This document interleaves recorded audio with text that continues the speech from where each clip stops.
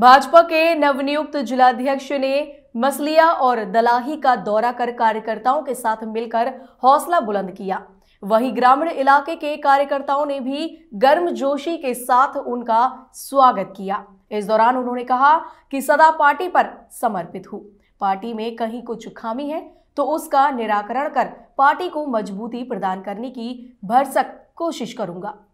अभी तो पार्टी का क्या कहते हैं, कार्यक्रम बना करके कोई दौरा नहीं हो रही। अभी जहाँ कार्यकर्ता बुला रहे हैं, जहाँ मन हो रहा है, घूम रहे हैं।